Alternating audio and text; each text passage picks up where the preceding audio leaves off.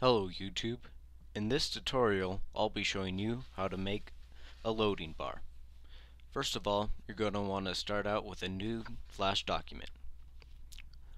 Select the second frame, right click and insert a new frame. Then you're going to want to make your loading bar.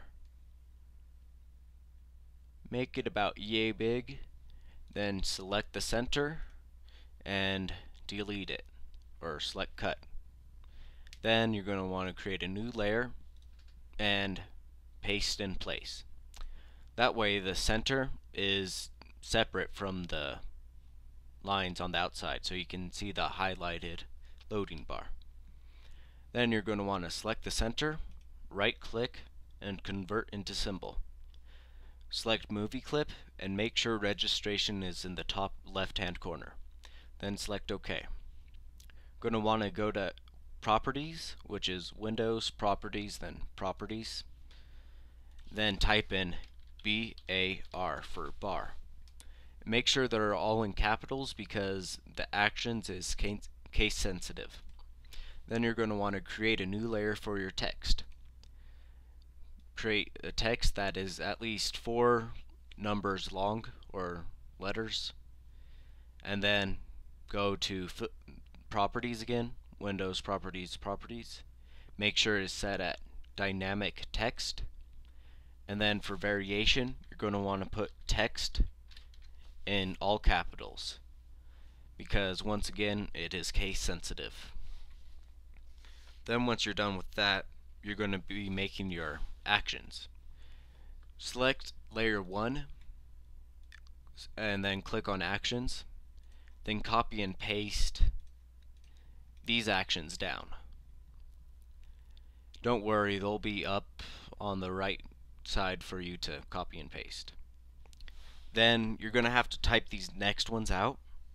They'll be if parentheses loaded equals equals oh make sure they're all in capitals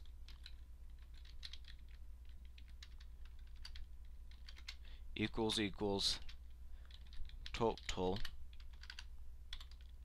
close parentheses this weird symbol and then go to and play 3 then the end of that weird symbol. Unclick that and then select frame 2 make sure they're two separate frames by clicking F6. Go to Actions and tell it to go to and play 1. Then that is how you make a loading bar. Then to test it, you're going to want to create more frames by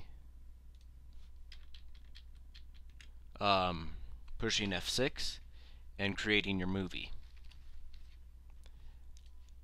Or and to test it, it would be easy if you have a big picture that requires a lot of um, memory to use. And then just make sure it's a couple frames long. And then push Control Enter. It won't work the first time when you play the movie, but if you click it again, you'll see your loading bar and it will load and that's it. Don't forget to comment and if you want to learn how to make anything tell me what you want on the comments and I will try to make a video. Bye.